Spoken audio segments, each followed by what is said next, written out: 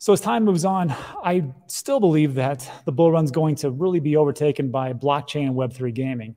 And to that end, uh, we've actually taken a look at a lot of different uh, people who have vast knowledge of that. One of those being Yat Siu, the founder of Animoca Brands. We also had uh, my friend uh, Crypto Stash, and he talked about the same things. And then recently we had Kagi talk about what could actually happen and why these things could come through as far as Web3. And today we got my friend who is Classy Games. Classy, welcome to the show for the very first time. How y'all doing? I'm really hyped to talk all about Web3 gaming. It's kind of like we've been doing this for two years. It's been like the most slept upon thing. We had this huge run and then everything fell out. And now it's just finally kind of activating. And now is probably the best time to talk about Web3 gaming. So glad to be here.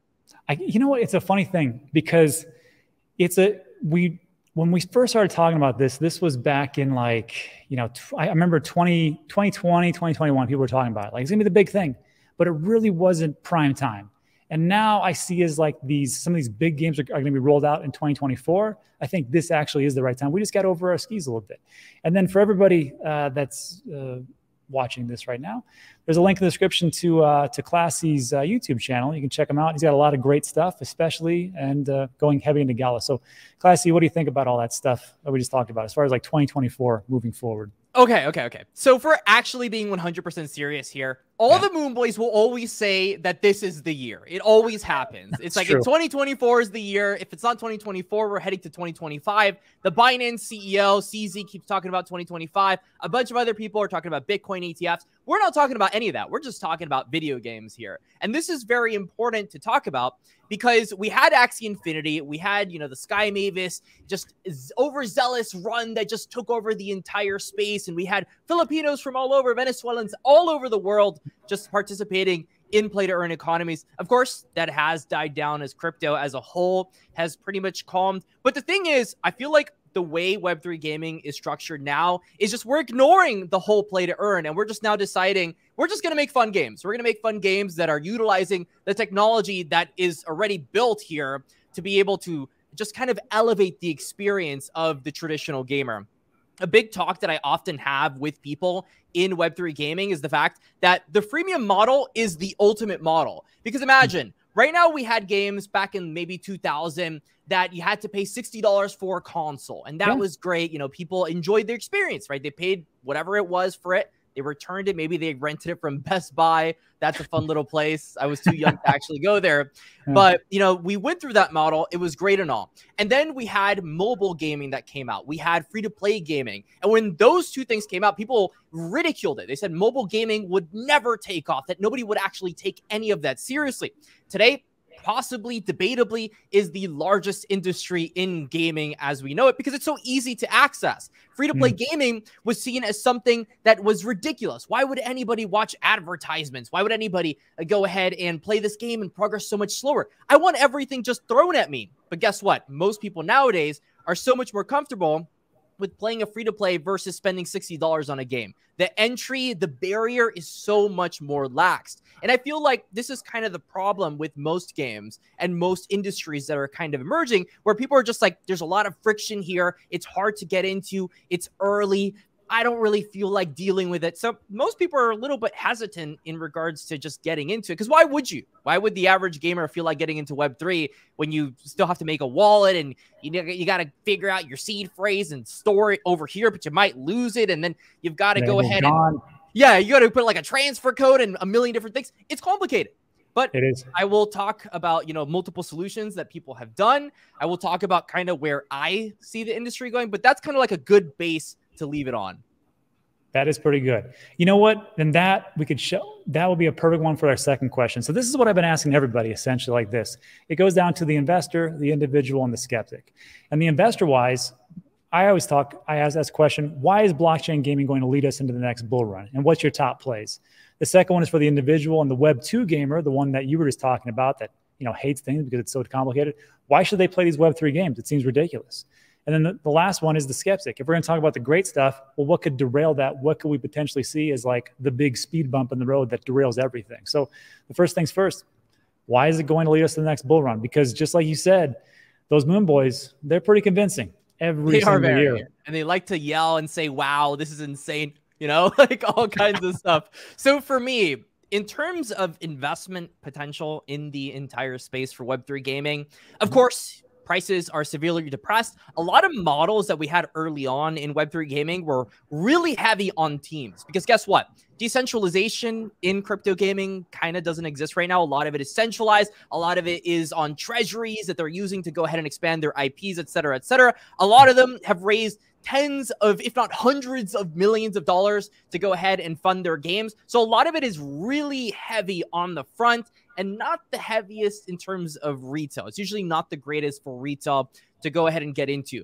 But the good thing is we've kind of gone through this, right? All those distribution unlocks that were really toxic for the average retail investor, we've kind of gone past a lot of it. These token launches have already happened. And a lot of these guys are already depressed. And guess what? They might not have had a product two years ago, but they mm-hmm. sure as heck probably have something either live like Gala Games or they have something that's coming very soon.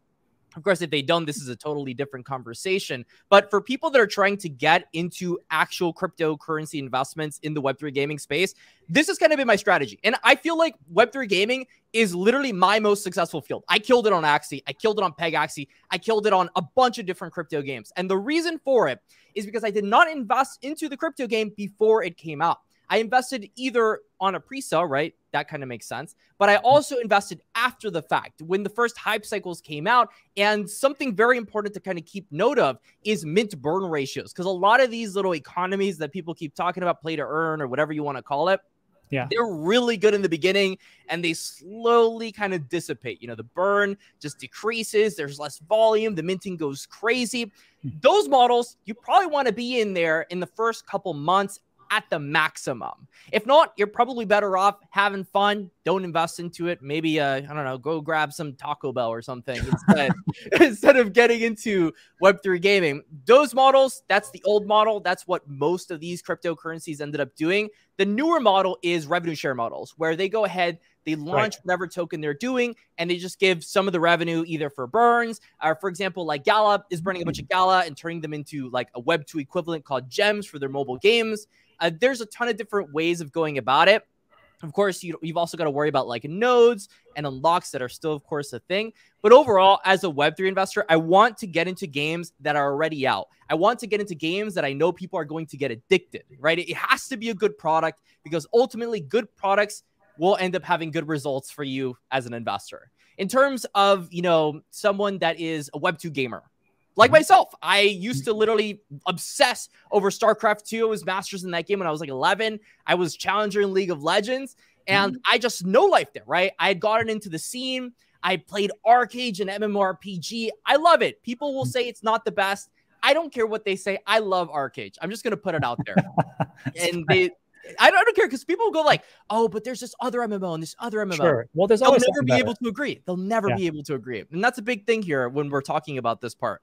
Because Web2 gamers are very hesitant to change things. They're, it's like humans are reliant on hobby. There's a reason that Counter Strike Global Offensive is the largest FPS game out there, debatably.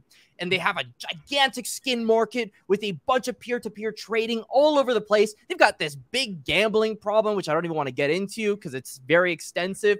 But mm-hmm. people don't care because they enjoy Counter Strike. They've been playing it since they were 11 years old.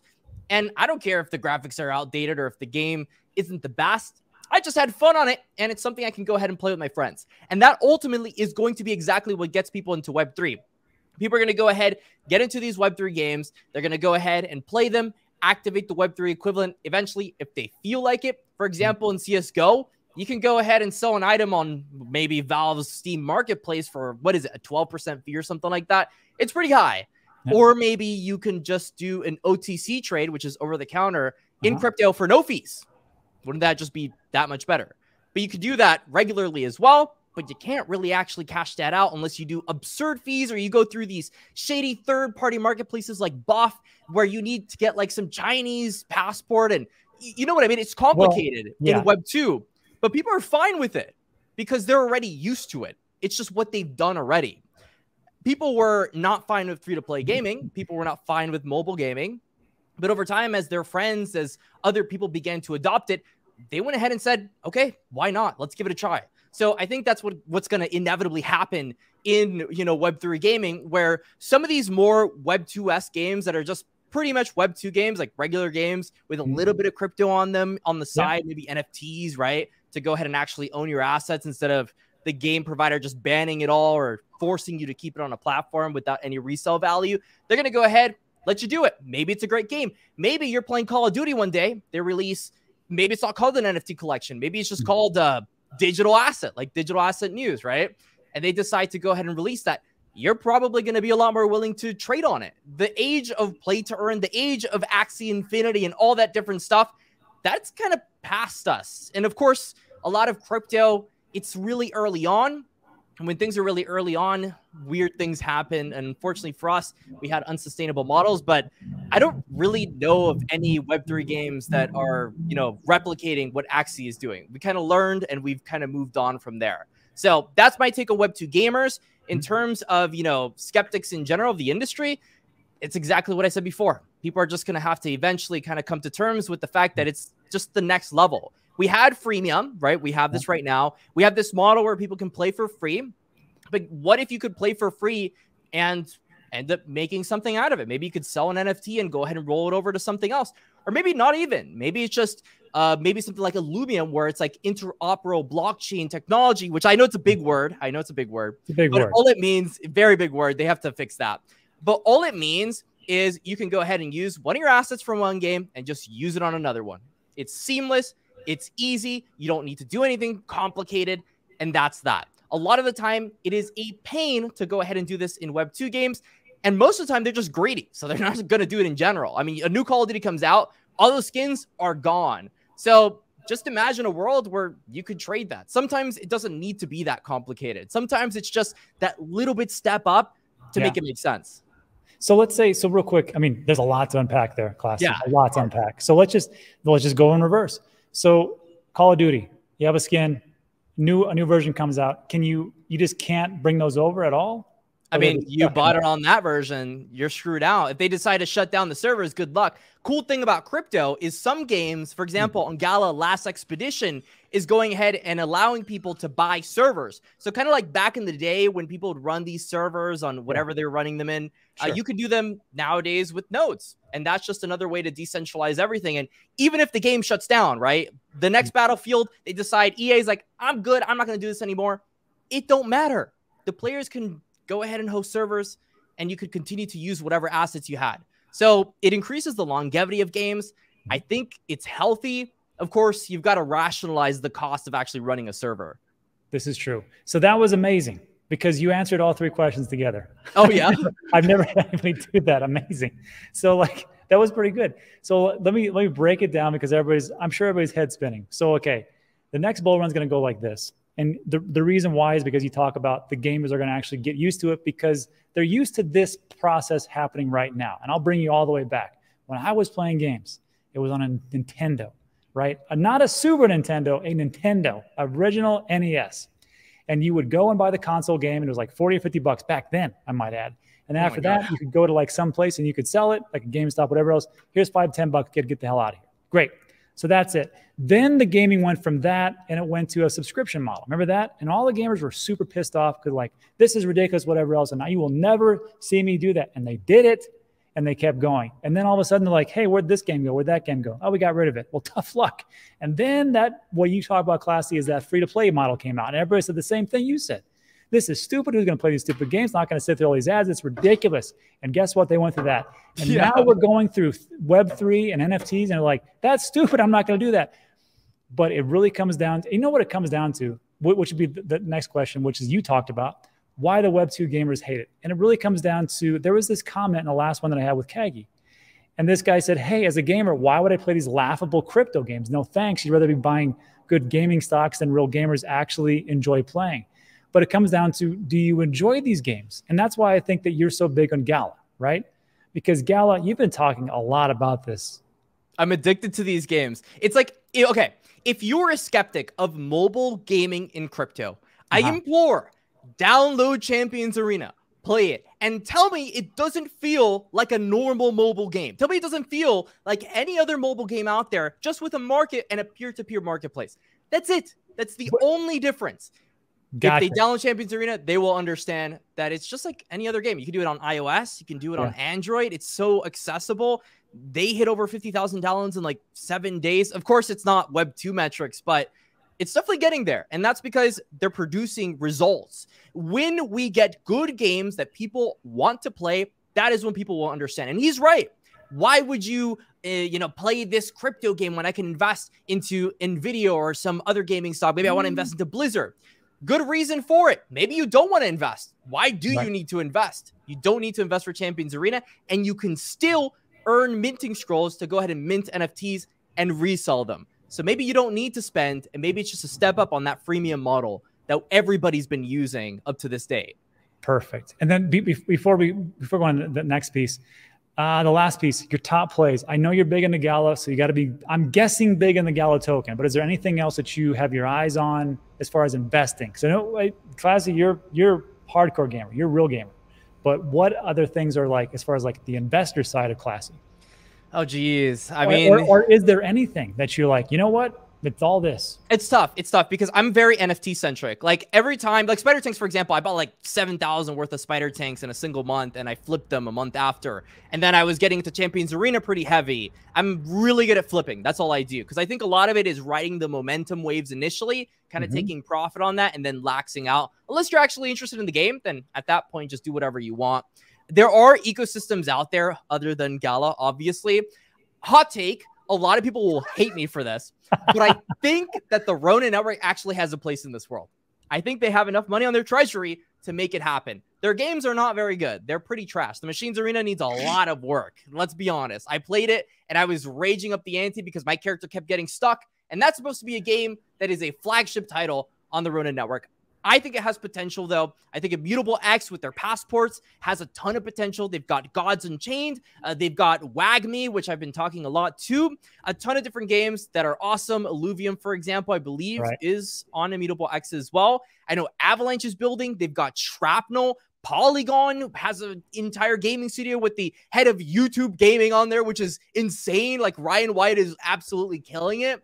I'm super bullish on Polygon there's Myriad, which is a little bit more of a skeptic if you're into indie games and you're into a little bit of the smaller market cap side. There's so many different plays in crypto gaming. I mean, this is an industry that is worth tens of billions of dollars essentially at this point in like raised capital. I mean, I swear it's so big right now. And it's crazy to think that two years ago it was like, what is it, like 50x bigger than it is today? It's, it's absurd. it's like, how? How is that that's, even possible? See, that, that's just it. And people just think, oh, we're late we're late. I'm like, you're not late. Everybody left. Yeah, everybody, everybody's gone. You're not late. You're actually getting in here on the ground floor, quite honestly. And I, and I, it's hard for yeah. people to get that because they're like, we saw what happened two years ago, and everybody says the same thing: Axie, Axie, and the play to earn, it's dead, and da da da. So, classy, what you're talking about is it's not dead. It's just there's a new model, and that's a revenue share model. And especially like when you talked about with um, Gala Games, you said that they were it's you know PC and then uh, Mac, but there's they're mostly moving towards the mobile yeah. side of things. Is that how all the games are now with Gala, or are they switching back and forth? I mean, that's the ultimatum. I mean, Spider Tanks is probably going to end up going mobile. All these games should be mobile. Ultimately, PC gamers might not enjoy, you know, Web3 gaming, but I'm sure a mobile gamer is going to be a lot more receptive to it. They're not as hardcore. They're a little bit more casual in nature, and they're a lot more, you know, uh, willing to play some game that might be a little bit more pay to win than others. I mean, mobile gaming is the most pay to win sector that is even conceivable. Like it's insane how pay to win uh, mobile gaming is. So, I mean, some of these play to earn models are doing really well right now on mobile gaming because of that fact. So, I see mobile gaming as like the first frontier. We tried PC gaming for a little bit, but then we, we realized that PC gamers are just not really willing to change that quickly, and they like to kind of boycott things for whatever reason. So we'll kind of ignore the PC gamers. We're go we're just gonna go ahead and go to mobile, do our thing, get the players, and then one day we'll be back and we'll be like, oh, do you remember that Battlefield game that shut down?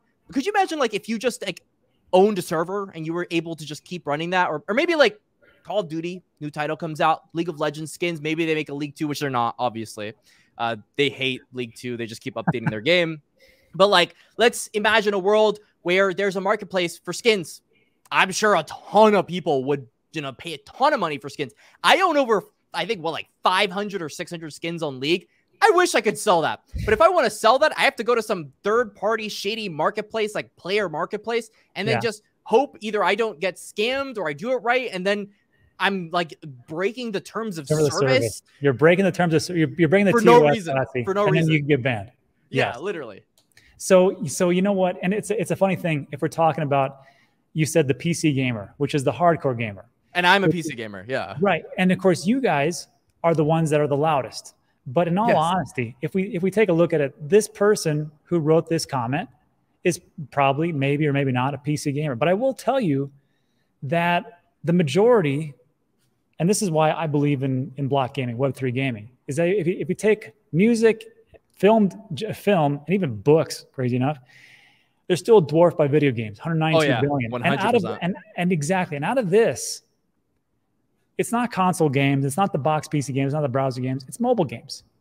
It's the games that you just talked about that are all through here. They're going to lead us into the next bull run. And I always say like this I think that these games are the real Trojan horse to get people out of the Web 2 into Web 3, which are the easier games because they're not so hard to set up. And then also the different places that are actually building these AAA games, it's going to take a lot longer. I know that they've got a, they're like, they're like the foreman. They're like the uh, construction worker. They're like yeah. the, the, person that comes in and goes, you know what? By next month, we'll have this whole house built. And you go back next month. What happened? Well, we kind of went a little bit behind, but we'll do it in two months. What the hell happened the first month? So classy. That, that, that that's, that's really very relatable, on. even on Gala, on every ecosystem on the planet. Not even Web three. Let's just talk about Web two. every game just has the delays these days. I swear. And uh, for hmm. example, I remember there was this game called Spore, which it's funny because we've got Will right over here too now. Uh, he's the creator of Spore and The Sims and all that great stuff. And nice. Spore was a game that when I saw the alpha trailer, it was gruesome. I mean, there were these little creatures that were super cute, and then you would just like rip them apart, and it was absolutely gory, all kinds of stuff. But the great. game comes out, and it's just the cutest little thing in the world. You've got these little fluffy little spore creatures, and then anybody, if you were like a Web3 gamer and, and that actually happened in a full release, they'd be like, they just rugged us. This is awful. How dare they? right? Like, right. That's kind of like the expectation that whatever is here better stay like this no matter what. It's not how games really function. I mean, how many mobile games even exist?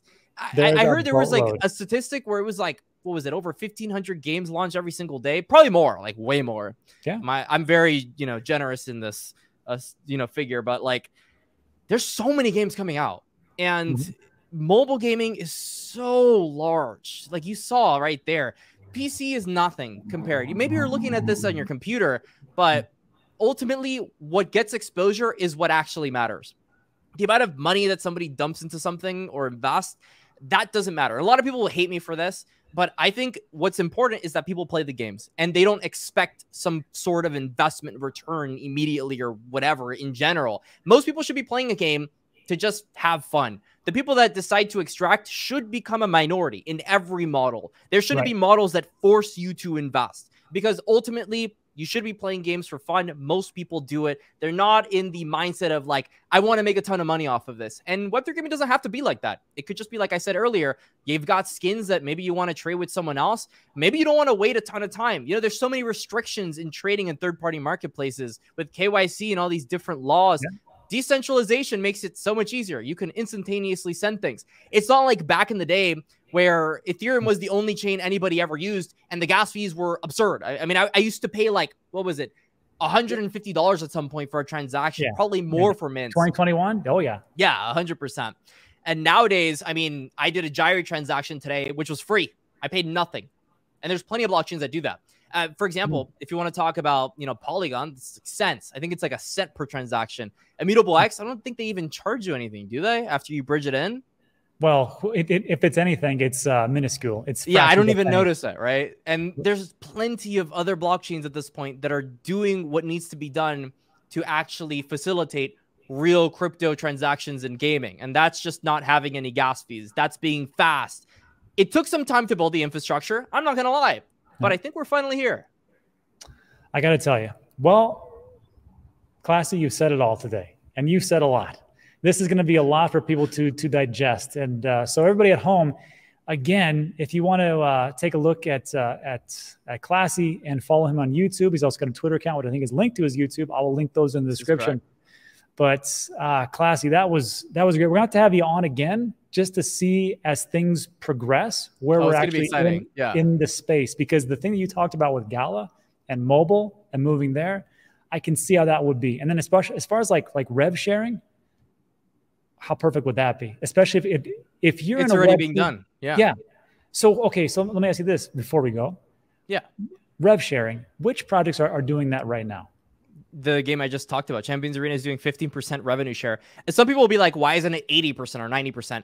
Ah, Gaming crazy. companies have to keep the lights on, right? But it's better than 0%. It's that little tiny bit of a step up for people to actually rationalize doing things. And maybe you'll mint an NFT and maybe you'll play Arena. Maybe you'll have fun there. And, and that's how you kind of uh, play your little Web3 games. It doesn't really matter how you end up doing. This is just one of many different models that are going to end up sprouting up. Just like MMOs are extremely complicated. I mean, have you seen the average MMORPG economy? That thing goes deep. Everybody specializes in a sub niche of a niche of a niche, and mm-hmm. that kind of goes from there. I'm sure there's going to be plenty of different models, but if you wanted to check out kind of how Web3 gaming is trying to do it, I think Champions Arena is a wonderful, uh, you know, example of this. Is there revenue? Is it from just the sales of like NFTs, or those are the transactions, or is it a and part of the revenue? Yeah is it is it also a part of the revenue that they get from because are they already on the Web two iOS and Android? So it's like they're going to have yeah. ads. yeah, and and they've had you know a lot of sales. I, I, mean, I pay in U.S. dollars. I pay with my Apple Pay on my phone, right? So, so that's it's it. just like any other game, literally.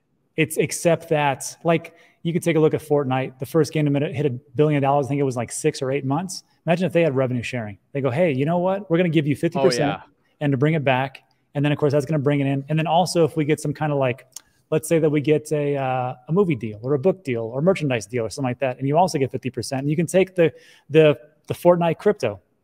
What if they even have one like Maybe that? it's not a crypto. Maybe it's just like you own a comic book NFT that you bought. It's kind of like giving retail people, like regular investors, an ability to be a part of something. Like I know Gala, if you want to just get a little bit away from gaming, they have music and you could buy tracks which give you these little beams that are worth something. So you're just betting on artists growing over time. If you're a fan of an artist or you're a fan of a gaming company, it's very similar in nature. So there's little ways to get in there. Uh, but yeah, no, overall, people should just focus on having fun on these games, honestly, because it's just it's the same thing as any other game. You just have ownership. You can go ahead and trade.